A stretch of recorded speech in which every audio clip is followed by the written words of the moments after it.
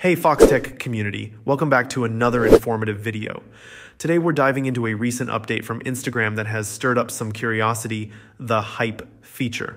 This new addition allows you to gauge the engagement on your stories, giving you insights into how many people are interacting with your content.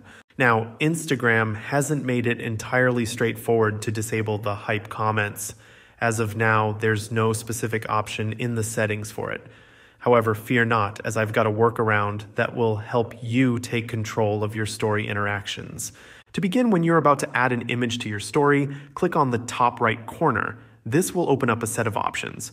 From there, select the Story option to delve into the settings that we'll be working with. Within this menu, you're on the lookout for the elusive Hype option. Ideally, it should be right there, ready for you to toggle it off and regain control over your story engagement. However, it seems Instagram is still rolling this out, and not everyone might see this option just yet. If the hype toggle isn't showing up for you, fret not. Instagram, in its usual quirky way, offers another solution. Head over to the Message Replies toggle.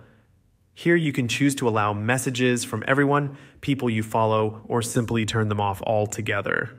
Bear in mind, though, that this will disable all comments, including the hype ones. So, there you have it Foxtecc Community, a quick guide on managing those hype comments on Instagram. Remember to explore both options based on your preferences. And speaking of learning, did you know I've created a free Foxtecc educational platform? Dive into various iPhone related courses all for free with new content being added regularly. Thanks for tuning in today. If you found this information helpful, don't forget to hit the like button and subscribe for more tech insights. Your support means the world. Stay tuned for the next one, and as always, peace.